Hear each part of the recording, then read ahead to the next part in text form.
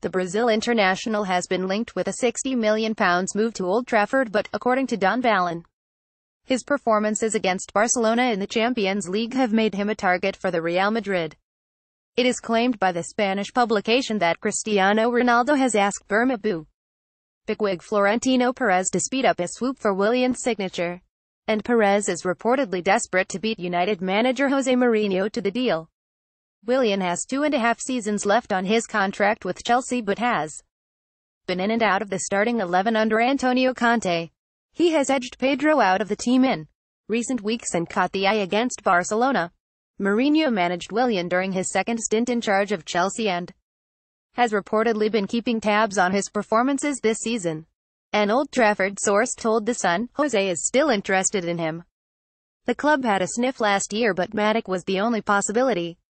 Eddie Cristiano Ronaldo has asked Real Madrid to sign Willian for Chelsea. He does not have long left on his contract. The boss is a huge fan of his. He is always full of praise. God knows where this leaves the rest of the wide players at the club but it cannot be good for them. He is a fantastic trainer with a great attitude towards his football according to Jose. Getty Willian impressed for Chelsea against Barcelona in the Champions League. Getty Jose Mourinho is eager to sign Willian from Chelsea. Getty Florentino Perez is desperate to beat Jose Mourinho to Willian signing but reports in Spain suggest Perez, who hired and fired Mourinho, fancies swooping.